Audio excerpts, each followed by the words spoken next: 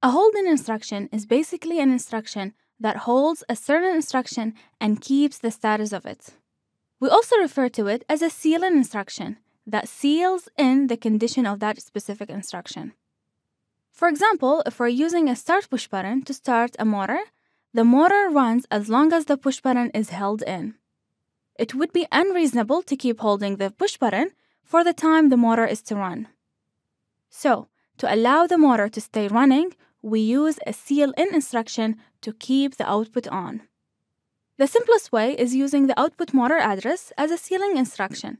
The address of the instruction is either internal bit or a physical contact. So the program first read rung by rung. When the push button is pressed, the motor starts and the memory location status now equals to 1.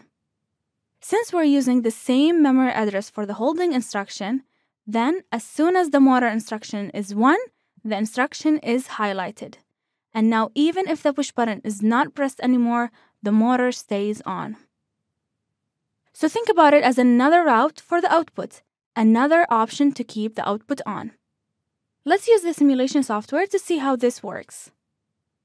So here I have a start push button and motor. I'm going to use a green light for the motor to see when it's on and when it's off. So let's see how this program works. Again, you go online, download the program, and hit the run mode. So now, as soon as I press the push button, the motor turns on. As soon as I let go, the motor turns off. So one way to keep the motor on is to use a sealing instruction. So we go offline.